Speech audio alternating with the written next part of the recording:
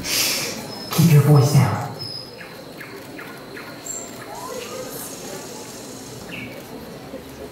Hi there, I'm Tighnari, Forest Watcher of the Avidya Forest. If you want to split hairs, then yes, these courses would be considered as dissemination of information by the academia. But what are they going to do? Lock me up? I dare them.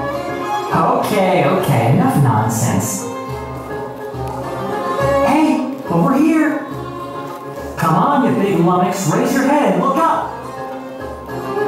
One with the forest! Can't see? I hear everything!